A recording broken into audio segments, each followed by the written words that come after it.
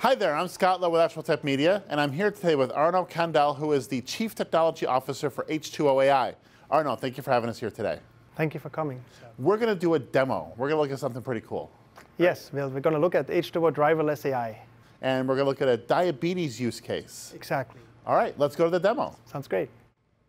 So, Arno, what are we looking at on the screen right now? So this is H2O driverless AI. And this is the, the screen where you can see the data sets that we have imported so far. So there's a bunch of data sets that are in the system. You can add more data sets like this. You can say local file system on this server where this is running. This could be my workstation, or it could be my laptop right here, or it could be a supercomputer with eight GPUs.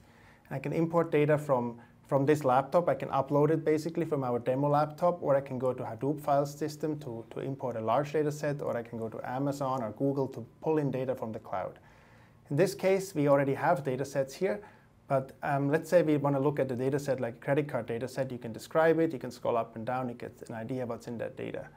Now, you said you wanted to do a diabetes demo, and I love the diabetes use case because it's, it's, it's something that is dear to our heart. We really like to, to make predictions for, for healthcare, right? Because that's where there's a lot of low-hanging fruit because doctors and medical professionals are desperate for AI. So here is a column that's called readmitted that says yes or no how many times um, you are getting to be readmitted with a given condition in this hospital. And the question now is, uh, given all these diagnosis indicators, uh, your age, your gender, your race, and, and certain numbers of the, the chemicals that are measured in your bloodstream, do you have to get readmitted or not at a later point in time? That's the question we're raising here. So that's the data set that we have. We're going to say, let's predict the readmitted column. So in driverless AI, the first thing you have to do is select the data set, which we did. Now we're selecting the target column. And that's the readmitted flag, yes or no. You see there's two unique values for readmitted. And we know that out of 50,000 uh, records in this data set, about 9,000 times somebody had to be readmitted. So that's the overall view of the training data. Now we have these knobs here, accuracy, time, and interpretability. And you can say I want higher accuracy. I really care about the accuracy in this problem.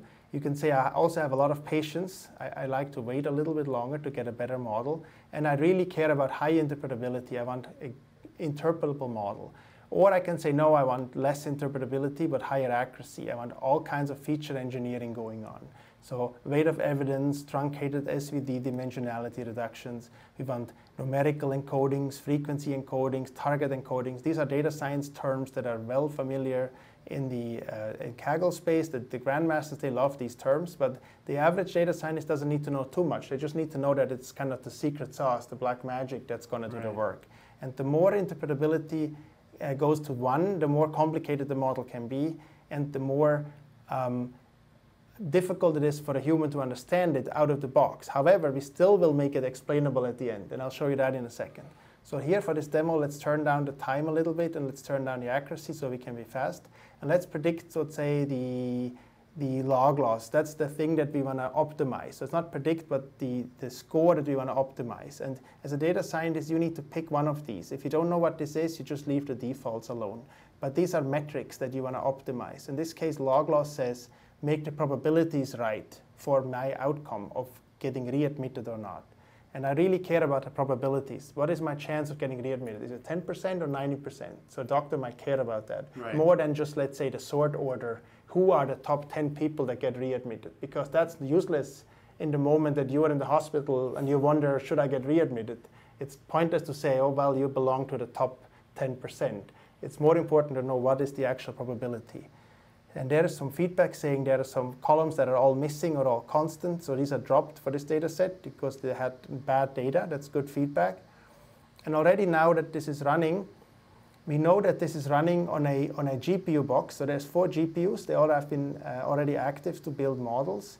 You can look at the trace, for example. You see that there's the red stuff. The red stuff is feature engineering. Each one of these little bubbles is another feature that's engineered, another column that's made in that data set automatically.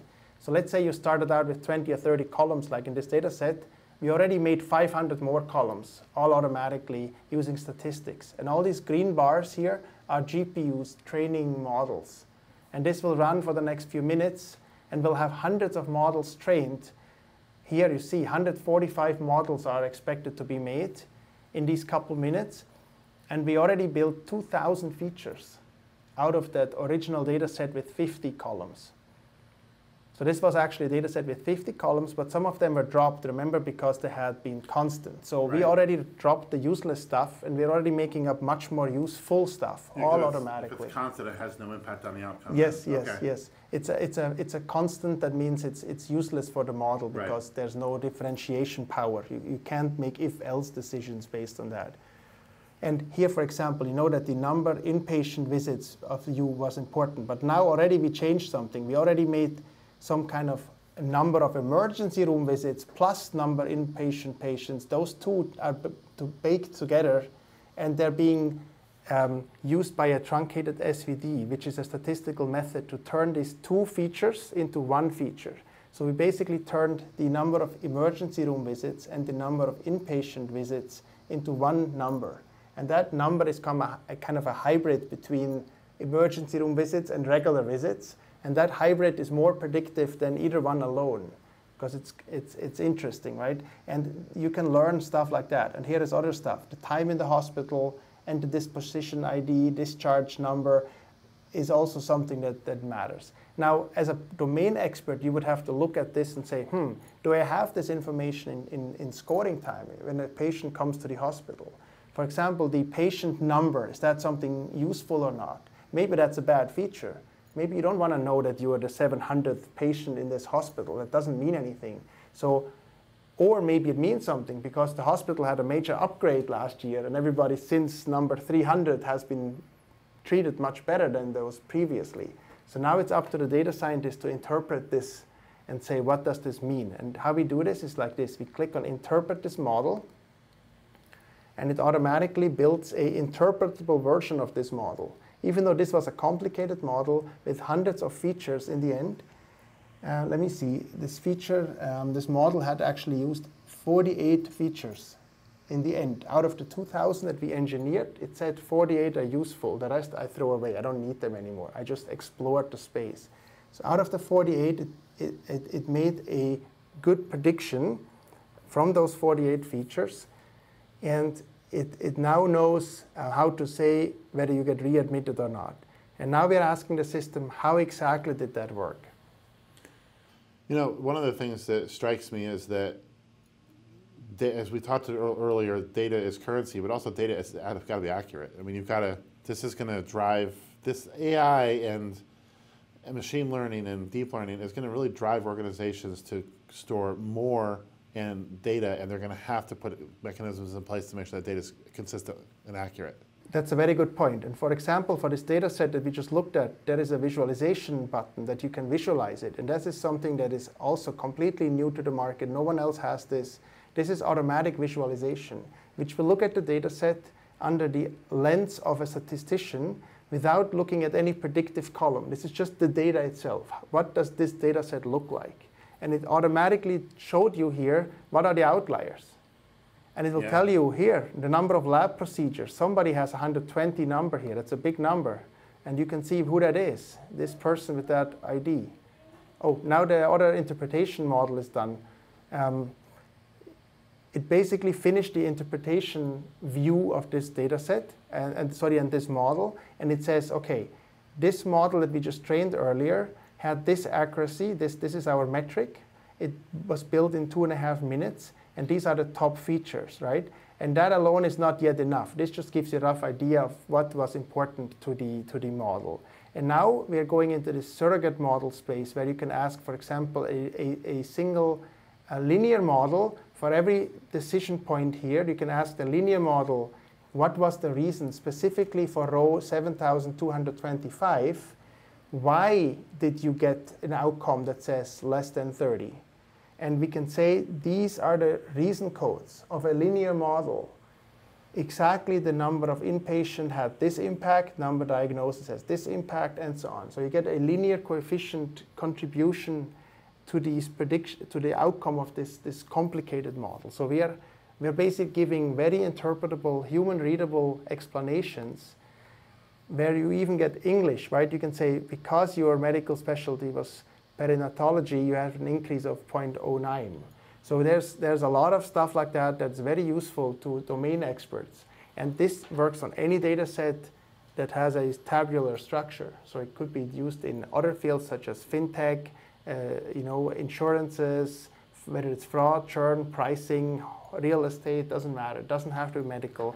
It can be your hobby project or it can be your 100 million row bank data set with all the fraud records of all the transactions in the last month or year. Can, also, can also be bigger than that. It can be any size and we will handle the statistics for you. It can be strongly imbalanced. So one in a thousand outcome is not a problem. It doesn't have to be a 50-50. You know, it can be whatever the data is. And we do our best to make that work. That's very cool. Thank you very much.